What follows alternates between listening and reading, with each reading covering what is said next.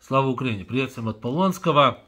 17 ноября в, Берли... в Берлине российская оппозиция собралась проводить антивоенный митинг с требованием, э, чтобы не быть голословным, сейчас посмотрю, что там у Навальной написано, с требованием вывода, безусловного вывода э, немецко-фашистских, ой, российских войск из Украины и суда над э, военным преступником Путиным. Ну, хотя бы это, хотя бы это правильно. Но вот все остальное, что связано с этим митингом, как-то попахивает, честно говоря, не очень. Но прежде всего, насколько я понимаю, этот митинг э, будет под э, вот этими э, аквафрешами вонючими, этими фашистскими флагами. Ну, то есть этим, э, ну, как цвет зубной пасты вот этот, да? Вот, то есть э, это, знаете, ну, выходить с аквафрешем, это как вот на митинг против Путина, это приблизительно как э, взять э, флаг со свастикой, было в фашистской Германии, выйти на митинг против Гитлера. Но это то же самое, да? Как можно с фашистским флагом выходить на митинг против фашистов? Это какой-то сюр, это вообще нечто непонятное. Это такой, это запредельный идиотизм. Вот. Я уже молчу о вот этих товарищах, которые там это все организуют, Навальная, потом кто там этот Карамурза, Яшин и так далее.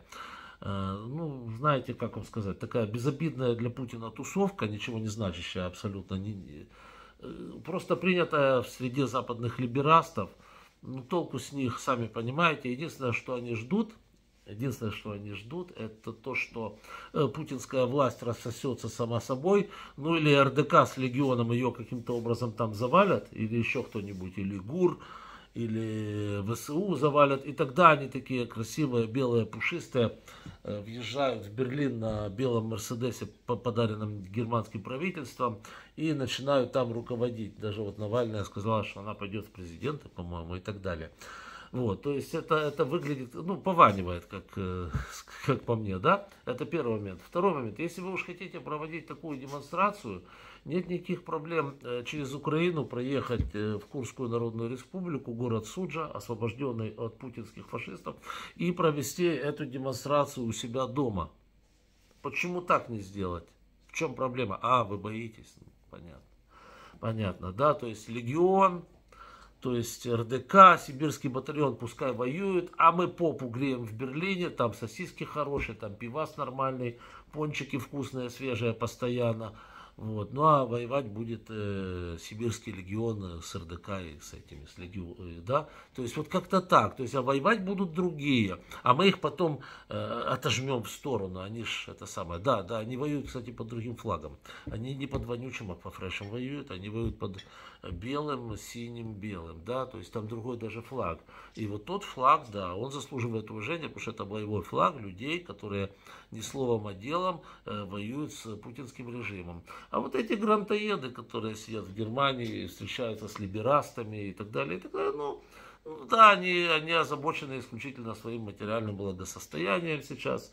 Вот, и своим политическим, как говорится, выживанием, с тем, чтобы вот о них не забывали ни в коем случае, и чтобы донатили побольше, чтобы они могли проводить побольше бесполезных, совершенно бессмысленных акций. Вот. Как-то так это все выглядит. То есть, я говорю еще раз, вроде бы идея неплохая, но я вот... Э, это, знаете, вот, вот такая вот демонстрация, это как расписаться в собственном бессилии. Это как... О, Шойгу регулярно, будучи министром обороны, брал Рейстаг фанерный, да, вот, ура, все побежали, взяли Рейстаг, хопс, он фанерный Московской области, да. Это так и здесь, да. Э, они, а мы оппозиция, мы туды, мы сюды, раз туды твою качель, но в Берлине, но с сосиской и с пивасом. Да, а Юля так еще и с этим самым, скажите мне, с, как она называется, с хорошим луком, да, чтобы лук же был хороший, чтобы платье было там за три штуки баксов не меньше и так далее, чтобы же, да, красиво было, все замечательно и так далее. Еще один момент, который очень важен для вот этой вот компании, которая собирает вот этот антивоенный митинг. Показать что война это только война Путина, а российский народ здесь ни при чем. Не, вообще ни при чем. Это сегодня в Харькове мальчика убил не российский народ, А вчера в Киеве девочку убил тоже не российский народ. Да Путин убил, конечно. Путин направил те самые шахеды, которые убили девочку в Киеве. Это Путин направил те шахеды, которые сегодня убили в Харькове. Мальчика разрушили девятиэтажку. В Киеве тоже девятиэтажку. Это Путин. Нет, это не российские офицеры.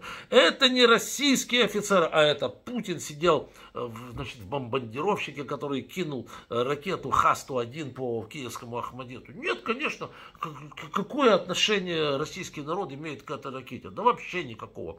И это по Херсону стреляют, ставит миномет э, на левом берегу Днепра или пушку и хренячат по Херсону через Днепр. Конечно же, Путин приезжает. Какой там российский народ? Лично Путин снаряды заносит, закрывает затвор пушки и лупашит по Херсону. Только Путин, исключительно. Да. И украинских военнопленных расстрелял тоже Путин. Ну, конечно, а что это, российский народ что ли сделал? Конечно же нет, это все Путин. И вот, вот, это, вот, это, вот эта задача вот этого митинга, так сказать, да. То есть они прекрасно понимают, что никакого, никаких достижений в плане э, свержения путинского режима это не даст. Просто потому что этот митинг не по месту. Хотите, еще раз говорю, его проводить? Мы для вас уже вашу, блин, суджу освободили. Трусы. Идите и там проводите. Не, вы в Берлине, а что, это Германия напала на Украину, что вы там проводите митинг? Вы будете убеждать канцлера Шольца не нападать на Украину? Смысл? Кого вы там убеждать, в чем собрались в Берлине? Германия, еще раз говорю, на Украину не нападала, на нее напала Россия. Вот. А смысл следующий. Э, не исчезать с повестки дня, гранты, встречи в дорогих костюмчиках э, с хорошей обувью, вот, э, улыбки, да, рукопожимания и денежки, денежки, несите ваши паненцы, да, мы оппозиция настоящая, не легион, не РДК, не сибирский батальон, мы, мы, мы, дайте нам, дайте нам, дайте, дайте, дайте, а пока кто-то другой за вас будет воевать. Вот вам, как говорится, и Юрьев день, бабушка Навальная.